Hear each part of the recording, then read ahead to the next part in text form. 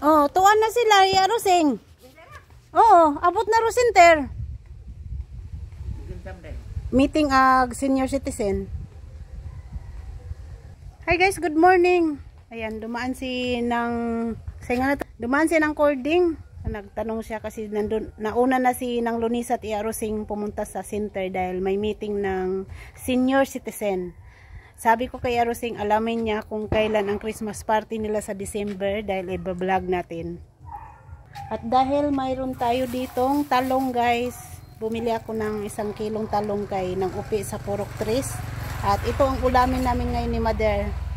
Uh, lagyan lang to ng kunting suka, sibuyas, luya. Titimplahan ng kunting sabaw ng bagoong para yun ang ulam namin sa tanghalian.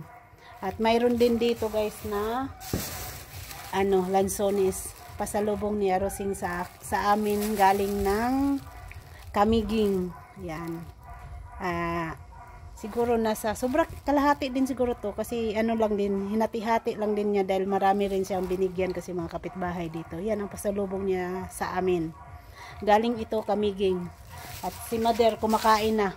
Unsay lasa ka mother tamis? Tamis? Tamis daw guys. Ang pangagdasa! Kain, tayo.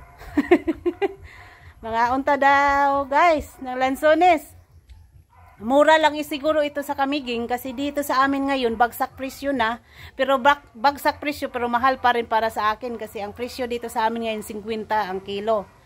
Ang pinakamura talaga dun sa Davao dahil sa bukid sa, sa kanila Kuya Titing is uh, 5 piso na lang daw or 10 piso ang kilo kaya wala nang nag-harvest doon dahil lugi. Dahil kung mag magbayad ka ng tao para mag-harvest, pakainin mo pa ng tangalian, tapos bayaran mo pa isang araw na bayad sa suhol sa pag-harvest kaya plus lagyanan pa kaya hindi na nila hina-harvest.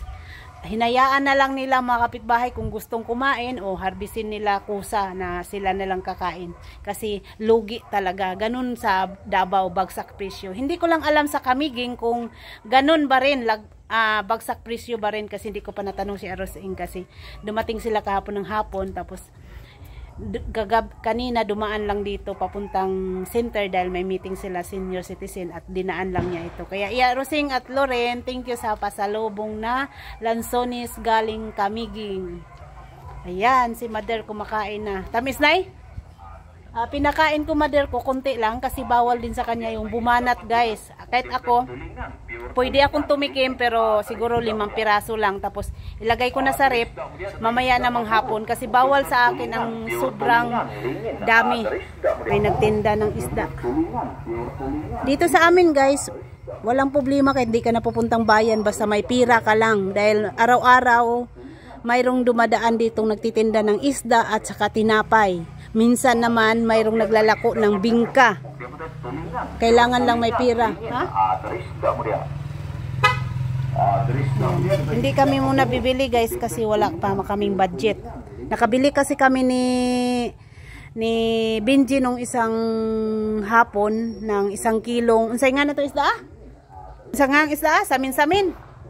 Samin-samin daw to guys. Bumili kami isang kilo 250. Uh, Napaka-presko dahil galing pa talaga dagat. Kakukuha lang ni Benji pag uwi dito.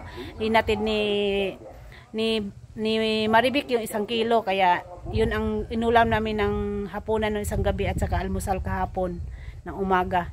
Sinabaw na isda na nilagyan ko lang ng malunggay, uh, tanglad, uh, luya at saka sibuyas yun lang ang nilagay ko. At ngayon itong talong. Isa parang salad guys ba? Parang salads guys guys ba? Nabulol tayo. Kasi masarap to kasi dahil bata pa kasi yung talong na to maliliit. Ito ang yung parang mas gusto ko tong talong na to kaysa nung sobrang laki. Ito kasi yung parang pang Pinoy ba? Yan. Mas gusto ko yung ganito kaliit kaysa sobrang laki. Uh, pang tatlong bili na namin ngayon sa Purok Tres. Yan. Tapos, mga tatlong ulaman namin yan guys. Hatiin lang namin. Hindi na kami nagprito-prito or torta kasi ano, mamantika na. Ang itlog naman, pag kumain kami ni mother, kadalasan, uh, ilalagay namin sa sinaing parang laga lang para healthy ba, para hindi ganong makolesterol. Ayan guys, thank you for watching. Thank you sa mga aking mga followers pala guys. Thank you so much at mayroon na tayong ads. Kagabi ko lang na-on ang aking ads monetization stall at kaninang umaga nag-PM si Monica na nakita na daw niya na may ads ang aking mga video. Kaya thank you so much!